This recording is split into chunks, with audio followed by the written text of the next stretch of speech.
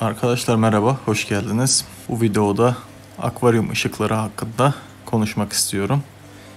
İki tane yeni ürün aldım, akvaryum ledi. Onları tanıtacağım, tanıtacağım size. Kullandığım ledlerin zaten e, tanıtım videoları, inceleme videoları kanalda mevcut. Örneğin Mygos Plant Plus, işte Aqua LED'in Full Spectrum ledleri. Onların dilerseniz kanalda inceleme videolarını bulup izleyebilirsiniz. Bu sefer e, Wolfmar Silver Plant, Wolfmar Full Spectrum Plant serisini tanıtmak istiyorum. Videoda birçok konuya değineceğim. Sırası geldikçe onlarla ilgili konuşma yapacağım. En sonunda bir toparlama yapıp genel bitkili akvaryum ışıkları hakkında konuşma yapacağım. Wolfmar Silver Plant serisine gelecek olursak. Onu daha önce kullanmıştım. Ee, şu ikili setin tanıtım videosunda onunla ilgili kısaca bahsetmiştim ama e, detaylı inceleme videosu yoktu çünkü yorum yapacağım bir durumda değildim. Yeni almıştım. Üzerinden hemen hemen birkaç ay geçti bu setleri kuralı. Akvaryumumuzda da Wolfmar'ın Silver serisi yani en başlangıç serisi var. LED olarak 60 santimlik modeli. Karşıda gördüğünüz iki akvaryumda şimdilik e, kötü sonuçlar almadım. Şöyle ki örneğin şu sağ tarafta kabomba bitkimiz var. Kabomba genel olarak iyi ışık isteyen bir bitki. E, akvaryumlarımın yüksekliği 45 olmasına rağmen kabombalarda hemen hemen çok kayıp yaşamadım. Gelişmelerine devam ediyorlar hızlı olmasa da. Sol tarafta da gördüğünüz gibi birkaç çeşit bitkimiz var. Ama bunların hepsi e, düşük gereksinimli bitkiler.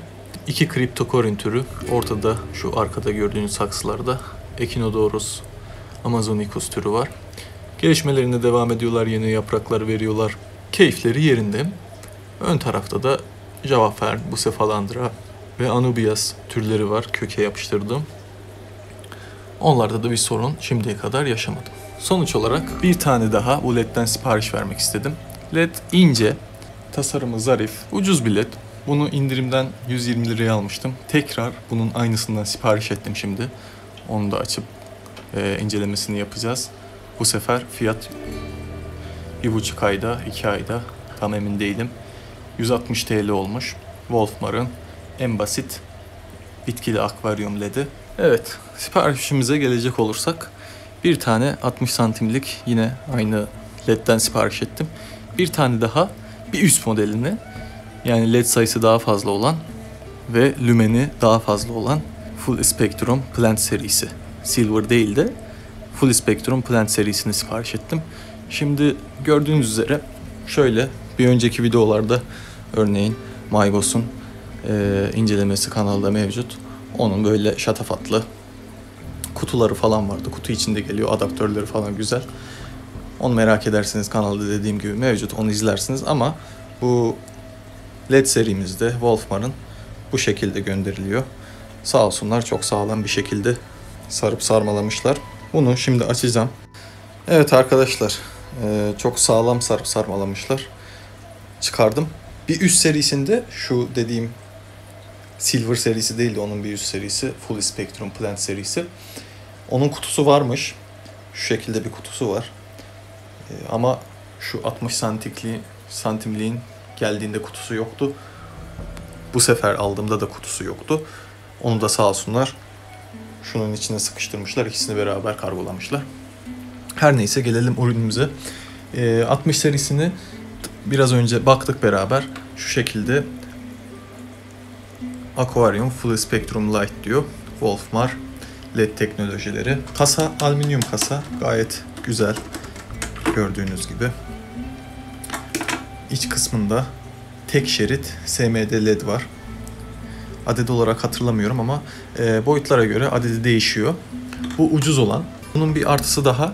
Şurada kenarda adaptörü çıkarmanıza gerek kalmadan açma, kapama küçük bir düğmesi var.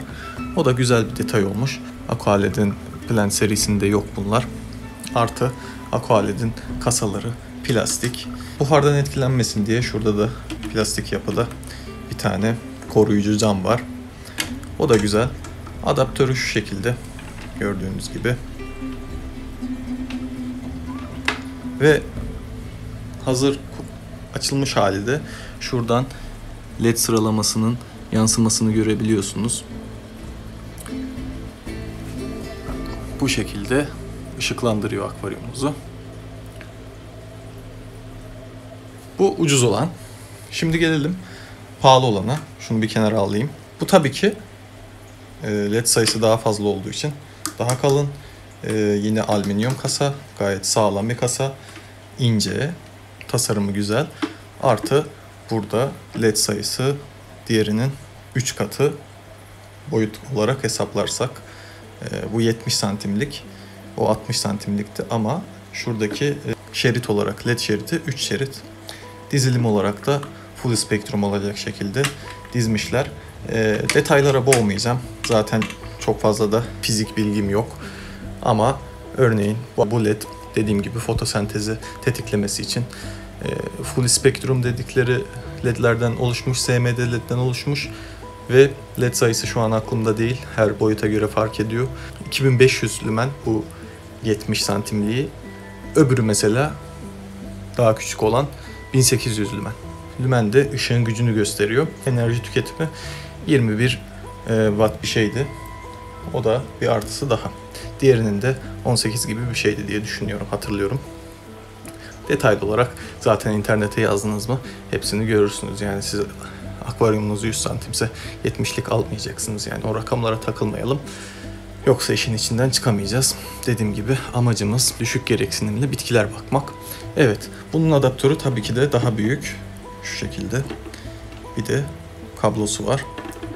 Şuradan elektriğe bağlanıyor. Kablo buraya, adaptörden de şu şekilde geliyor.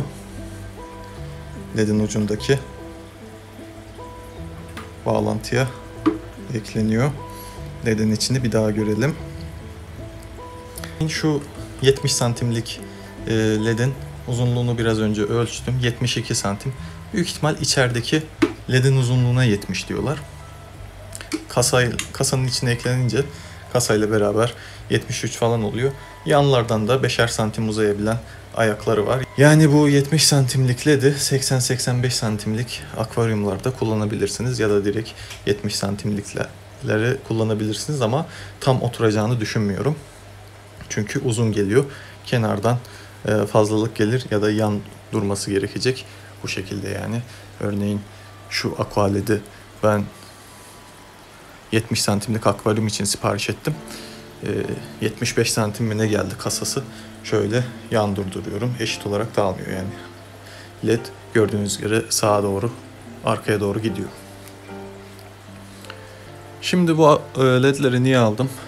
Onları akvaryumlarına yerleştireyim. Daha sonra ışıklarını, güçlerine bakalım, kıyaslama yapalım. Biraz daha konuşalım. LED'lerimi yerleştirdim. Maalesef nefret ediyorum. Hep bu olay başıma geliyor. Yine uzun geldi. Şu iki akvaryum yan yana 70 santim. Tam 35-35 belki 71 santim. Maalesef led dediğim gibi 70 santimlik led sipariş ediyorsunuz. 72-73 gibi bir şey geliyor. Bu da şu halde duruyor yani. Kenardan bunlar asılı kalıyor. Bu sefer yanda durduramadım. E, enli olduğu için diğerine göre. Öyle bir saçmalık. Allah'tan buhar camı var akvaryumlarımda. Çok e, buhara maruz kalmaz. E, kendinin de zaten bak görmüştünüz.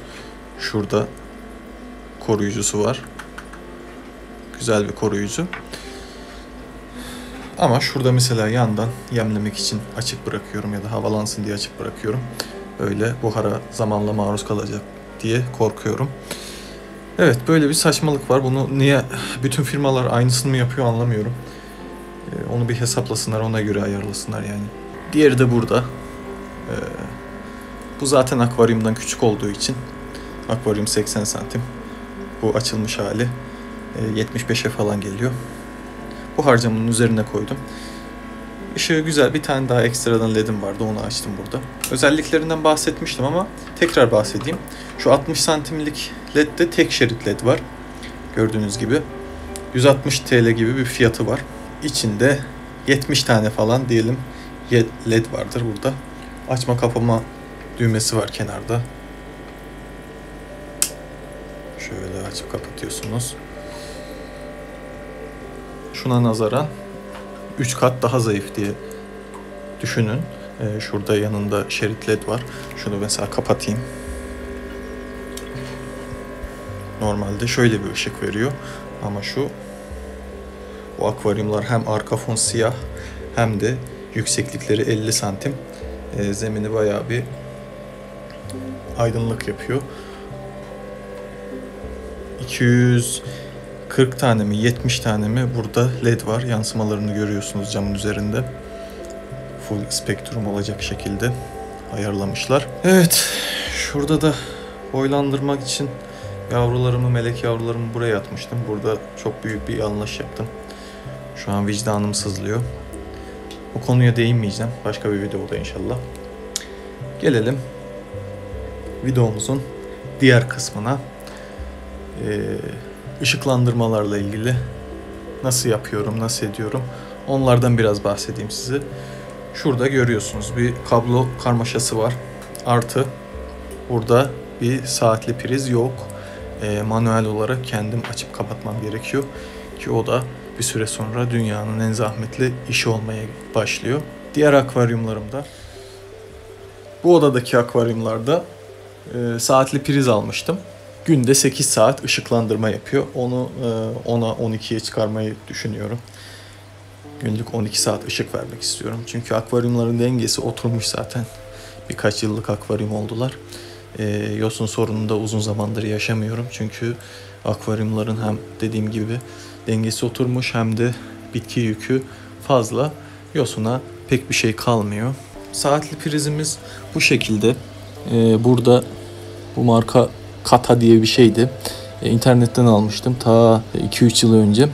50-60 liraya bir şey almıştım diye hatırlıyorum. İstediğiniz gibi haftalık, günlük, farklı kombinasyonlarda mesela örneğin salı günleri bu kadar çalışsın, öbür günler bu kadar çalışsın. Ee, elektronik bir saatli priz. Onu ayarlayabiliyorsunuz. Şimdi tekrar aynısından almak istiyordum. Bir baktım ki fiyatlar uçmuş. Yani 100 TL'ye falan geliyor. Aynı saat. Onun yerine de alternatif olarak teknolojide geçtikçe, gün geçtikçe gelişiyor. Akıllı prizler diye bir şey çıkmış. Tabii o da akıllı ama onun kadar akıllı değil. Şöyle bir şey gördüm. Tapo, TP-Link'in ürünü. Bu daha da üst düzey e, uygulaması var. Telefona indiriyorsunuz. Wireless bağlantısı var. İstediğiniz gibi uygulamadan hem günlük, saatlik ayarlayabiliyorsunuz. Evde değilseniz bile ışıklar ne durumda açıp kapatabiliyorsunuz ışıkları. Böyle artıları var. Bunun detaylı incelemesini yapmayacağım. Sonuçta bir teknoloji kanalı değil burası. Akvaryum kanalı. Yani e, işinizi kolaylaştırmak istiyorsanız akıllı prizleri kullanın. Bu da 140 TL gibi bir şeydi bir internet sitesinde. Öbürü 100 TL gibi bir şey. Yani aradaki 40 TL'yi gözden çıkarıp böyle bir şeyi tercih edebilirsiniz. Çünkü kat kat daha iyi. Örneğin sağ üstte yazıyor schedule timer. Zamanlama, programlama yapabilirsiniz. Telefonla uzaktan kontrol yapabilirsiniz. Sesli komutu var. Sesli kontrol sistemi var. Yanma önleyici, flame retardant dediği, away mod dediği evden uzaktaysanız da örneğin mesela ışıkları kendi kendine rastgele açıp kapatıyor. Hani evde birileri varmış gibi onun taklidini yapıyor. Hırsızlığa karşı bir şey. Google'ın programıyla uyumlu. Alice diye bir program var onunla uyumlu. Alexa herhalde Alexa da Amazon'un uygulamasıydı. Onunla da uyumlu. Bir cihaz, bir priz. Bunu takıp bütün ışıklarınızın adaptörünü buna bağlayabilirsiniz bir çoklu prizle. Rahat rahat kullanabilirsiniz. Bu da ışıklarımızın ayarlanması için bir yöntem. Evet arkadaşlar, kutu açılımlarını yaptık. ledleri yerleştirdik. Prizimizi de gösterdim zaman ayarlı prizimizi. Şimdi gelelim genel olarak bilgi paylaşımına. Daha önce de buna benzer bir video yapmıştım. Maygos ile Aqualed'i kıyaslamıştım. Wolfmar'ı da inceleme şansımız oldu. El yapımı DIY dedikleri birine yaptırdığım Power LED'li sistem de var. Bunların hepsinin üzerinden geçip hızlıca bir genelleme yapmak istiyorum. Akvaryum kuracağım diyelim. Nasıl bir ışık kullanmalıyım? E, kaç para, nedir, ne değildir? Hemen hızlıca üzerinden geçelim. Şu en yukarıda gördüğünüz Maygos'un Plant Plus serisi var. Maygos'un detaylı incelemesini kanalda bulabilirsiniz. Bu üçüncü herhalde bu cümleyi kuruyorum üçüncü kez. Ama özelliği nedir? Bir kere bu e, üst düzey bir led. Yani diğerleriyle kıyaslanamaz. Kasa kalitesi olsun, e, adaptör kalitesi olsun, adaptöründeki 3 seviye ışıklandırma şu an en düşük seviyede çalışıyor. Onunla istediğiniz bitkiyi e, high-tech besleyebilirsiniz. High-tech bitkileri karbondioksitli sistemlerde besleyebilirsiniz. Bu başka bir şey ama gel gör ki onun fiyatı mesela yukarıdaki 90 santimlik bir led şu an 1000 lira üzerindedir yani. En son kaç para bakmadım yani 60 santimlikleri 800-900 gibi bir şey. Belki de daha fazla. Evet onu geçelim. O bizim konumuz değil çünkü bizim konumuz düşük gereksinimli bitkiler. Ben high-tech bitki beslemiyorum. Artık beslemiyorum ya diyelim. Peki high-tech bitki beslemiyorum ama kullanabilir miyim Maybos'u? Tabii kullanabilirim. En düşük güç seviyesinde. Kilidi nerede acaba? Bakın şöyle bir kilidi var. 1, 2, 3 diye gidiyor. Bu birinci seviye. İkinci seviye sadece fotosentez için mavi ve kırmızı ışıkları veriyor. Bu üçüncü seviye en güçlüsü hepsini yakıyor. Hem enerji tasarrufu hem de bitkilerimiz o kadar ışığa ihtiyaç duymadıkları için ben bir de kullanıyorum bunu. Evet. O öyle. Aşağıdaki akvaryumda bu akvaryumların hepsinin tek tek kurulum videoları kanalda mevcut. E, bu akvaryumda da yine e, düşük gereksinimli kolay bitkiler mevcut. Bacopa, Cryptocorin, işte Bucephalandra, Java Fern, Moss, Lobelia cardinalis birçok şu an aklıma gelen bunlar bitki türü var. Burada ne kullanıyorum? Burada en basit dandik şerit led. Aqualid'in şerit ledlerini şuraya monte ettim. Bir tanesi 90, bir tanesi daha 90. Ee, biri gün ışığı renginde. Öbürü e, full spektrum. Böyle gayet güzel bitkilerde yavaş yavaş kendi hallerinde yaşıyorlar. Aşağısı da aynı. Orada da şerit ledler var. Ama orada bir tanesi beyaz, bir tanesi full spektrum. Ton farkını görüyorsunuz. Burası sarımtırak. Gün ışığı olduğu için burası beyaz. Öyle ton farkları olabiliyor ama dediğim gibi baktığımız bitkilere yeterli geliyor. Şurası hani biraz daha üst seviye diyelim. Ee, Birçok bitki çeşidi var, bitki miktarı fazla. Ee, Aqualed'in Plant serisi var, full spektrum. Ee, Aqualed'den fiyat performans olarak dediğim gibi memnunum ama e, ürün kalitesi aynı fiyattaki diğer e, markalara göre düşük. Artı videoda da söylediğim gibi, daha önce de söylediğim gibi 70 santimlik ürünü 73 santim, 74 santim gönderiyorlar. Böyle saçma sapan şeyler oluyor. Kasası şurası plastik. E, bu tarz şeyleri var. Artı mesela şu Aqualed'in ilk aldığım ürünü şöyle göstereyim. Işığı kapatmam lazım görmeniz için. Şuraya bakın. Zamanla ledler şu koruyucu plastiğini yakmış ve yakmakta. Ki günlük 8 saat kullanıyorum ben bu ledi. Daha fazla yansa nasıl olur bilmiyorum. Ama ışık olarak yeterli mi? Yeterli geliyor. Şöyle bir orman oluşturabiliyorsunuz şeylerle, e, düşük gereksinimli bitkilerle. Ama getirip de e, yüksek akvaryumlarda yani yüksekliği 40 santimin üzerinde olan akvaryumda karbondioksit ve yüksek ışık ihtiyacı olan e, taban bitkisi eklerseniz yani bu ışık olmaz yani onu da kendiniz düşünün artık. Emin onun üstünden geçtik. E, bu başlangıç seviyesi demiştim mesela. Yukarıdakinin yukarıdaki siyah aqualed'in fiyatı diyelim 200 TL. Bu 150 TL. Yukarıdakinde aqualed iki şerit led var. Bunda tek şerit led var. Gücü daha hızlı yerinden. E, Wolfmar'ın Silver serisinin aqualed'e kıyasla. Ama e, kasa sağlam, kasa güzel. Şuradaki alttaki koruyucu plastik daha kaliteli. Yanında açma kapama düğmesi var. daha ince, daha zarif çalışılmış. Bu tarz bitkiler için de tekrar dediğim gibi yeterli oluyor. Ama sağlam ışık istiyorsanız yeterli olmaz. Bunu söyleyeyim size. Yani Silver serisi yeterli olmaz. Gelelim Power LED'e. Bir kere Power LED'lerin fiyatı arttı. Fotosentezi arttırır mı? Arttırır. Zemin bitkisi bakabilir misiniz? Bakabilirsiniz. Yani Power LED sayınıza göre kendiniz mi yaparsınız, birini mi yaptırırsınız? Onları akvaryumunuza göre hesaplamanız lazım. Genelde e, yüksekliği yani akvaryum yüksekliği fazla olan bitkili akvaryumlarda Power LED kullanılması eğer ki çok pahalı markalara e, gücünüz yetmiyorsa Power LED kullanabilirsiniz mercekli. Zemin bitkisi de yetiştirebilirsiniz. O da nasıl bu şekilde? Yapan kişiye göre değişiyor tabii. E, bir yerde yaptıracaksınız ya da kendiniz yapacaksınız. İşçilik kalitesi tamamen yaptırdığınız kişiye bağlı yani. Bunun bir markası yok söyleyemem yani. E, oradan alın buradan alın. Zamanla mesela bunun buhar koruyucusu yok. E, yanmalar oluyor power ledlerde. Onun dışında temassızlıklar oluyor. Hani götürüp aynı kişiye tamir ettirmeniz lazım. Bulur musunuz, bulmaz mısınız? Bu tarz yan etkileri var. E, fiyat olarak da artık yani hani e, DIY el yapımı olsa bile artık hemen hemen e, şunlara yaklaştı yani hani. Böyle markalaşmış şeyleri kullanabilirsiniz seri üretim ürünleri. Çünkü ben buna ta zamanında 350 bin para vermiştim. O zamanın fiyatında 400'e Maygos vardı yani. Ama bu güçlü mü güçlü, power led mi power led. Ama zamanla dediğim gibi temassızlıklar oldu. Ee, birkaç e, serinin ledin gücü düştü. Tamir ettirmeye götürsem adamı bulur muyum, bulmaz mıyım falan fistan.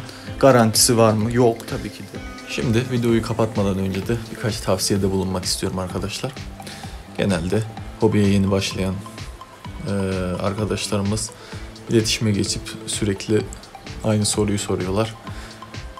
Nasıl bir led alayım, ne yapayım, ne edeyim?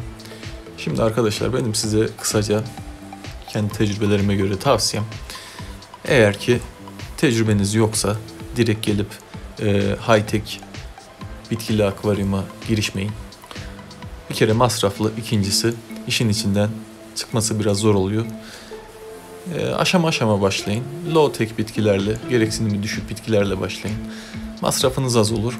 High tech başlayacaksanız demin de bahsettim.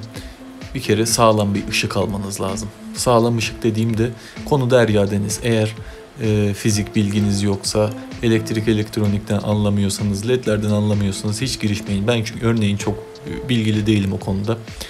E, hazır piyasada hazırlanmış ürünler var. Oturup fotosentez ışık tayflarını inceleyeceğinize hangi led e, ne veriyor, ne lümeni var, e, rengini, e, spektrumu ne onları karıştırmayın. E, hazır high tech mi istiyorsunuz? Basın parayı alın o zaman ya da power led yaptırın. Power led'in de artısını eksisini sizlere söyledim. Tecrübesiz ellerde yosun patlaması yaşayabilirsiniz. Çünkü high tech'te gübrelemesi ayrıdır, su değişimi ayrıdır, karbondioksit dozlaması ayrıdır. Hepsi bir dert. Yani onları ayarlamanız lazım. Ben şahsen bir ara uğraştım. Sonra daha sonra balığa ağırlık vermek istedim. E, bitkim de olsun istedim. Low geçtim. Karbondioksiti de kapattım. Şurada köşede duruyor. Ama ışığı hala kullanıyorum. Evet. Bu birinci tavsiyem. İkincisi kuracağınız akvaryuma göre ışık alacaksınız tabii ki de. Örneğin bitkili akvaryum kurmak istiyorsanız gidip 50 santim yükseklikte bir akvaryum kurmayın. Low tech bile olsa e, bitkileriniz e, bu ledlerin sonuçta bir gücü var, bir kapasitesi var. E, yükseklik arttıkça ışığın derine inmesi suda gücü azalıyor ve tabii ki bitkilerinizi de etkiliyor. Onun dışında kaç saatle başlamanız gerekiyor onu anlatayım. Bitki yükünüz düşükse örneğin şu akvaryum yüklü bir akvaryum diye sayılabilir. Bir sürü bitki var. Yani bunun yarısı kadar bitki olduğunu düşünün. Ee, bunun bitki yükünüz düşükse 6-7 saatle başlayın. Ama ben minimum e, çoğu kişi 6 saatle başlayın diyor ama ben minimum 8 saat diyorum. Onlar yosunu engellemek için öyle diyorlar. 6-7 saatle başlayın diyenler. Ama bitkiler akvaryumu çok kurcalamazsınız. Doğru taban seçimi yaparsınız. Doğru bitki seçimi yaparsanız 8 saat e, minimum yeterli olur diye düşünüyorum. Daha sonra bitki yükünüz yüksekse ve yosun sorunu yaşamayacaksınız. Çünkü bitkiler yosunlarla yarışıyor. Akvaryuma ne kadar çok bitkiyle başlarsanız yosun sorunu yaşama ihtimaliniz de o kadar azalır. O zaman 8-10 saatle e, ışıklandırmaya başlayabilirsiniz. Dediğim gibi led seçimi yaparken bu tamamen e, kişiye özel, akvaryuma özel bir durum. Herkese standart bunu kullan, onu kullan denilemez. Ama e, ortalama bir bitkili akvaryum kuracaksınız. Benim tavsiyem uygun fiyatlı, kendini ispatlamış markaları tercih edin. Örneklerini de inceledik sizler için. Ve öyle başlayın.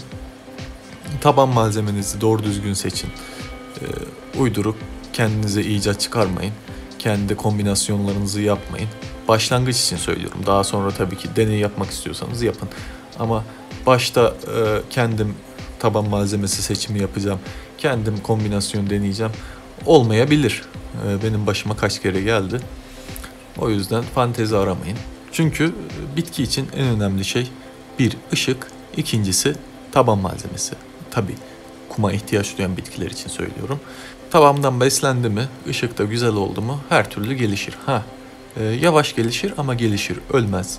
Sorun yaşamazsınız. Ama akvaryumunuzda bir sorun varsa, yosun patlaması oluyorsa, bitkileriniz eriyorsa, yaprakları kopuyorsa, delinmeler oluyorsa o zaman alarma geçin. Çünkü bir, bir şey eksiktir. O da en önemli şey ışık diye düşünüyorum. Daha sonra mineral.